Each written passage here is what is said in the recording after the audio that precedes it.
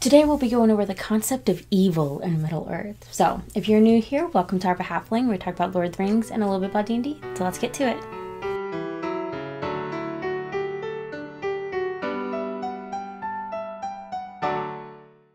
Okay, so if you were with me last week when I was doing the Tom Bombadil video, at the end of that video, I had mentioned that I kind of believed that part of the reason why Bombadil wasn't affected by the ring was because there was nothing the ring could offer him. He was content in his life.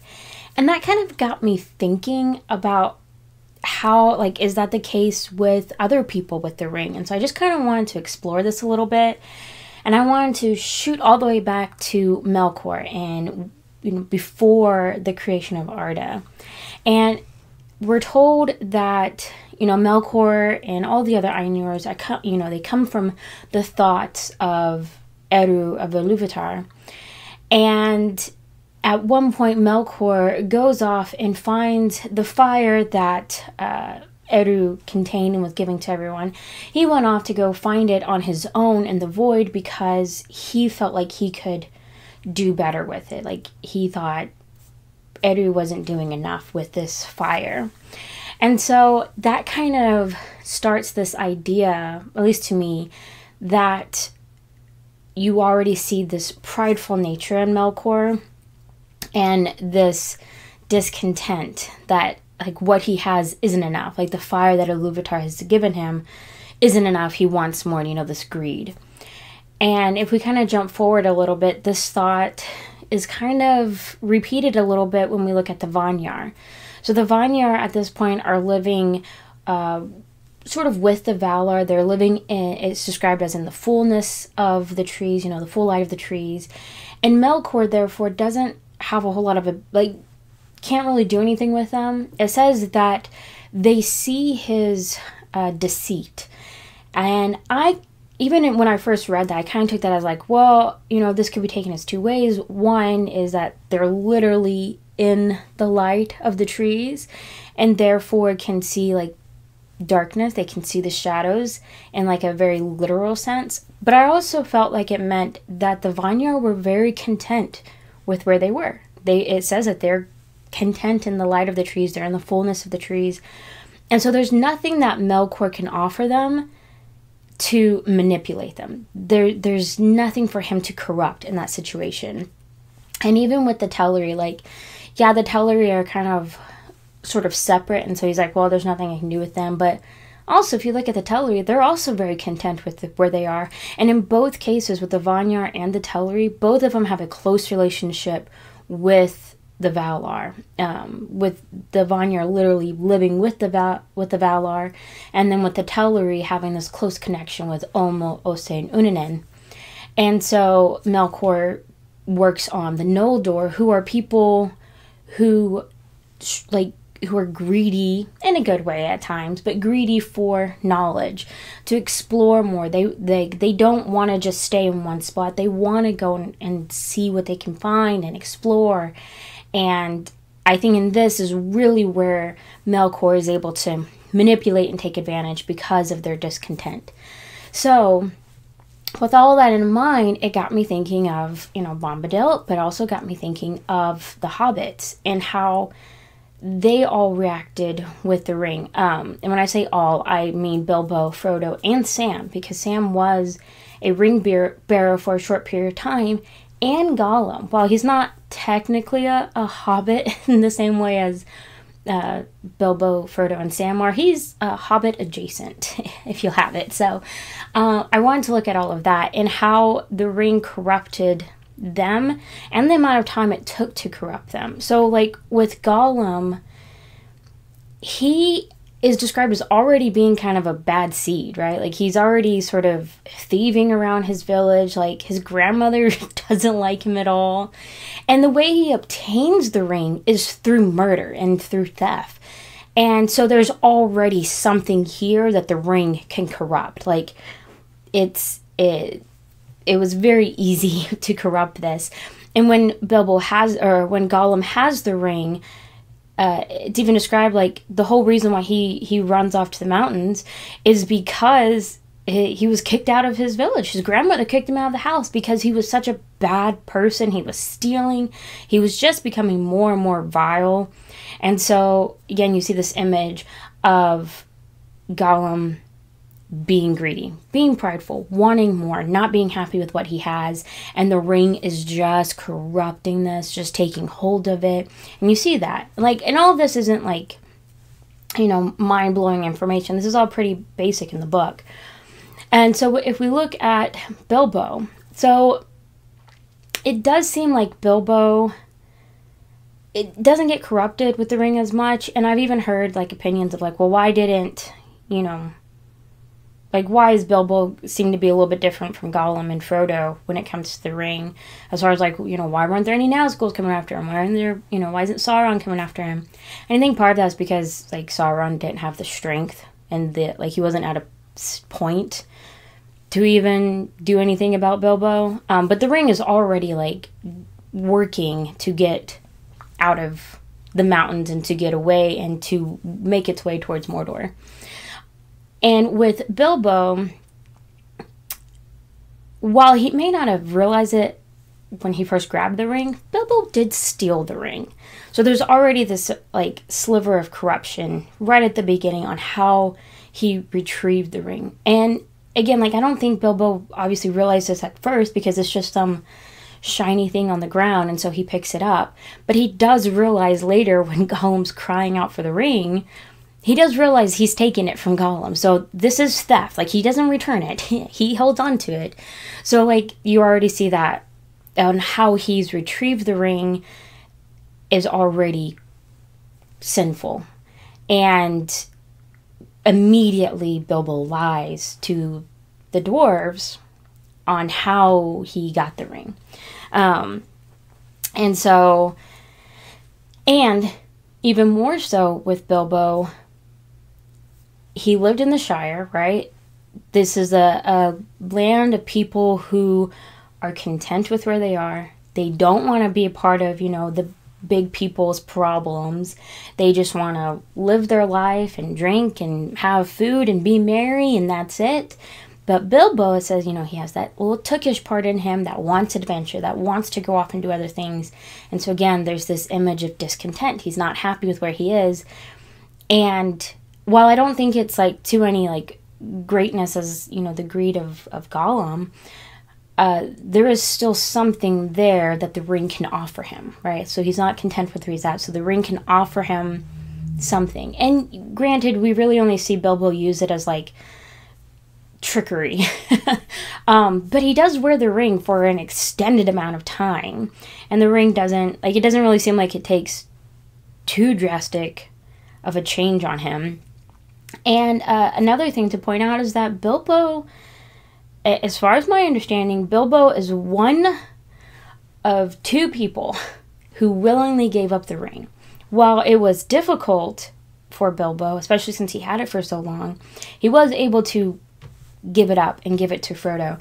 And so you see this this point of of uh, this innocence in the hobbits and this content and humility in who they are. And I think that's important into what the ring can corrupt.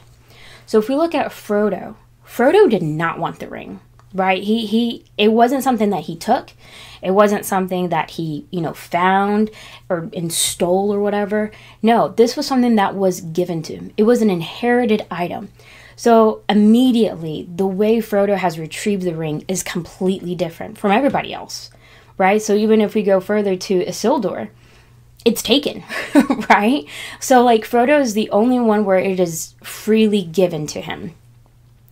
And I think that is very, very important as to why Frodo lasted as long as he did with the ring and using it as few times. Of course, he's given more information than Bilbo is about the nature of the ring, but like he literally has like the ring has to wear him down just by weight by temptation by being in the enemy's land for it to finally take hold of him and that's not a small thing i think the fact that frodo was given the ring freely entirely changes how the ring can manipulate him. And Frodo we see this idea that Frodo does want to go with Bilbo. He does want to see the elves, and you know, he he wants to go on these ventures. But it's still said that like, mm, but Bill, uh, Frodo's heart's really in the Shire. Like, yeah, he wants to see these things, but not really. So again, there's this sort of he's more content with where he is, and even when he's he's given the ring, you know, Gandalf tells him like the whole like keep it secret, keep it safe and uh, it's kept away. Like Frodo, it doesn't seem like Frodo uses it at all. You know, maybe a little bit, but from my understanding, he doesn't use it really at all during that time.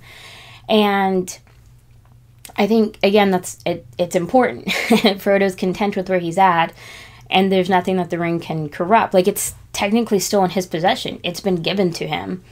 And so yeah, there's this temptation for Frodo, but he's able to fight it off because He's happy where, with where he's at. He's he's good, and the only reason why he leaves uh, the Shire is because Gandalf finally tells him like, "You've got to get out of here. Like people are coming.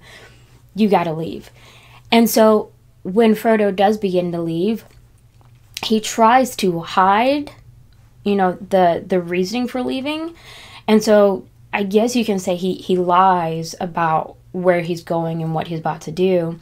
But even in that, when it comes to the ring, is done out of protection of others, whereas Bilbo lied about the ring to protect himself and what he wanted, but Frodo's lying here to protect others, and I think that's a big difference.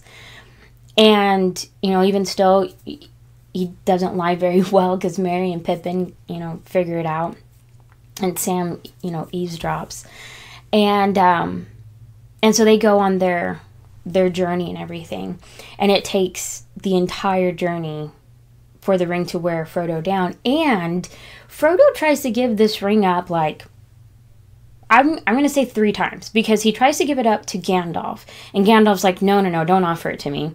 He tries to give it up at the Council of Elrond, right? Like that was the whole point. He takes it to uh, the council, and he's supposed to be done with it. That was his that was his part of the job. He's done it. We're good.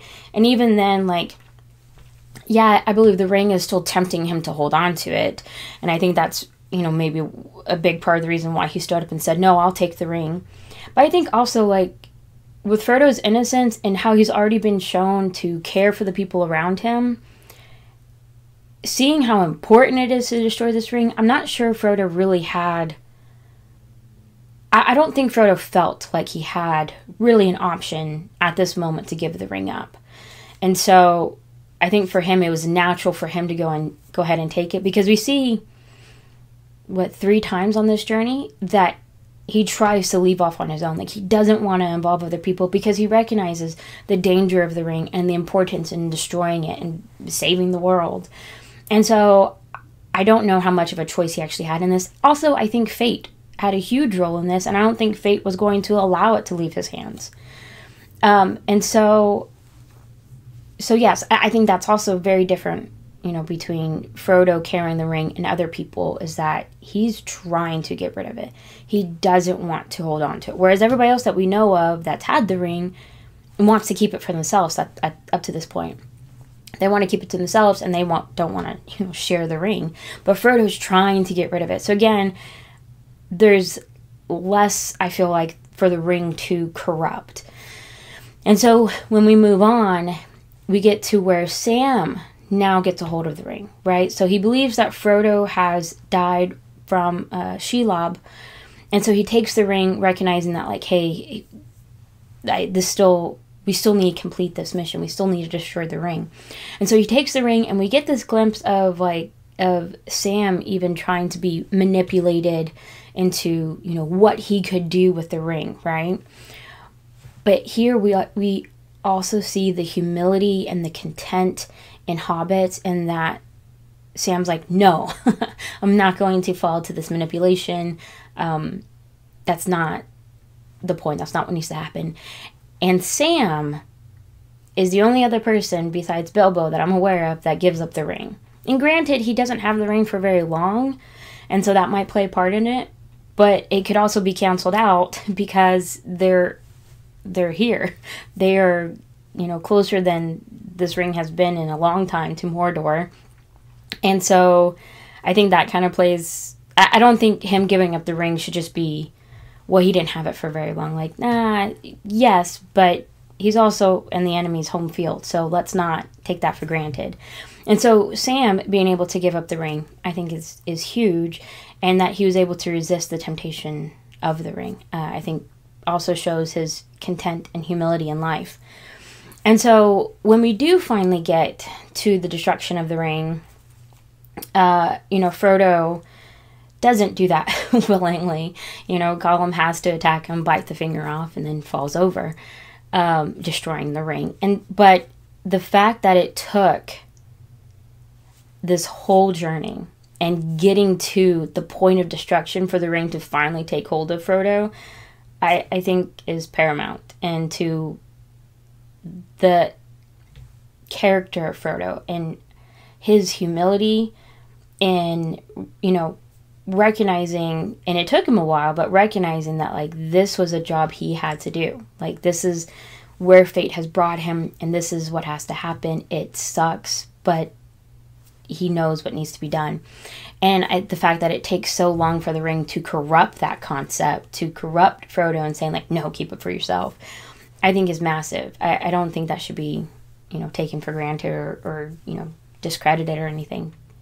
And so, in looking at all of these characters and how they've had the ring and their responses to the ring, it makes me wonder is Tolkien trying to get at something here, right? like is is Tolkien's perspective of evil, of corruption by evil, I guess, is it based on how content a person is and how humble a person is? Like if you are if you are happy with where you're at, if you recognize like these are the cards I've been dealt, this is the bread on my table, that's it, like and I'm going to be happy with that like if there's if Tolkien's trying to say like there's less for evil to corrupt then, right? So you're you're not prideful anymore.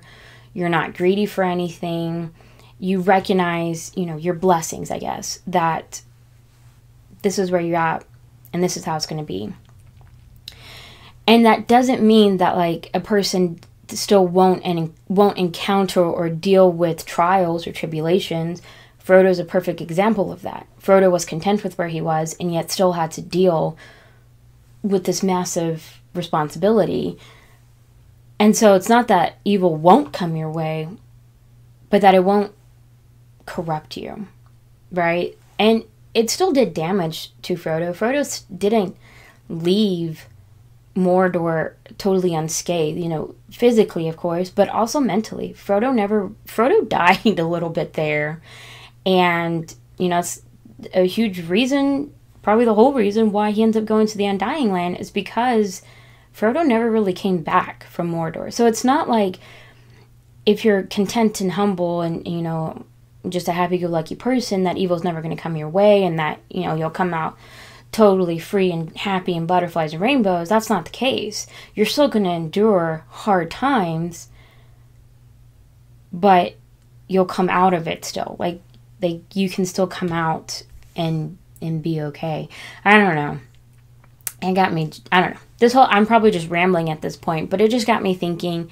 And even like if we look at Tolkien's um, religious views on it, like in Christianity, you know, the first sin is pride, right? So man was greedy for more knowledge, greedy for to be like God, which you know, obviously we see that with Melkor.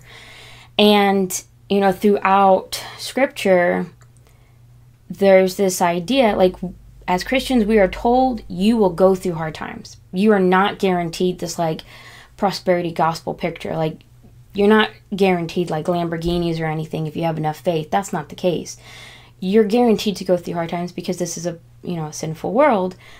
And but if you, you know, if you are humble and if you trust God, then you know he'll guide you through it sort of thing. And i'm just wondering if like that's kind of what tolkien is getting at. Like if whether it's on purpose or just a product of his own belief like you see that here where yeah, if, if especially with Frodo, like Frodo's told like fate has brought him here, right? Like Eru's name isn't exactly mentioned, you know, spelled out for us, but you know, Eru is God and he, you know, is the creator of fate in the situation.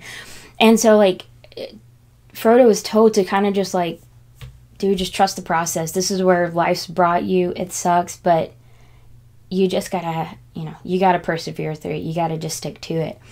And and so definitely there, I think Tolkien's religious beliefs are seeping through in that moment of you have hard times, but you just have to keep the faith, I guess.